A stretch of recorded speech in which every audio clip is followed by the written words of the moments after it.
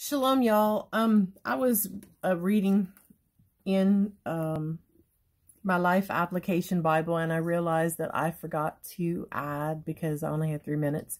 Um, I forgot to add the life app application part for the video that I just posted. So we're going to call this Speak Life Part Two. So, um, in the study, it says from Matthew 12, 34 through 36. What if everything we have ever said were to be played back for all to hear?